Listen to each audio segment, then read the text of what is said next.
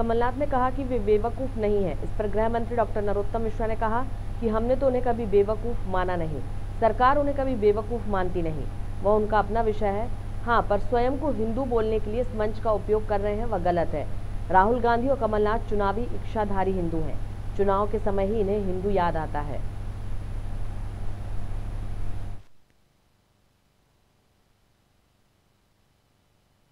हमने तो कभी बेवकूफ़ उन्हें माना नहीं। सरकार उन्हें कभी बेवकूफ़ मानती नहीं है। अब उनका अंदर का मामला है कुछ। पार्टी के अंदर का मामला है, इसलिए बोल गए होंगे। वैसे मैं इतना ज़रूर मानता हूँ कि उन्होंने जो मंच का उपयोग किया हिंदू शब्द की व्याख्या के लिए, वो गलत है। कमलनाथ जी हो चाहे राहुल गांधी, ये चुनावी हिंदू है। ये इच्छाधारी हिंदू है।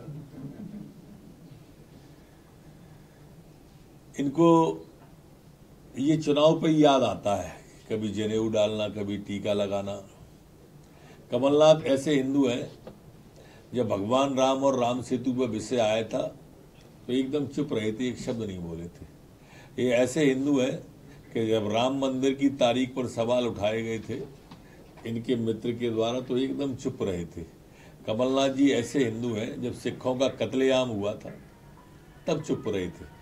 यासीन मलिक की सजा पर एकदम चुप रहे थे, ये ऐसे हिंदू हैं। कमलनाथ जी ऐसे हिंदू हैं जो ज्ञान व्यापी का विषय आए तो एकदम चुप रहे थे। ये इच्छाधारी हिंदू है।